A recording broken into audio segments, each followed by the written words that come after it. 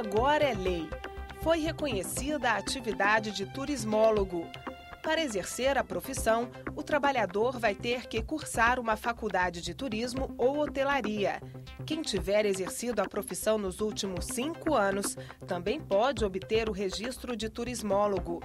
Entre as atribuições do profissional de turismo se destacam atuar como responsável técnico em empreendimentos que tenham o turismo e o lazer como objetivo social e estatutário, criar e implantar roteiros e rotas turísticas, desenvolver e comercializar novos produtos turísticos.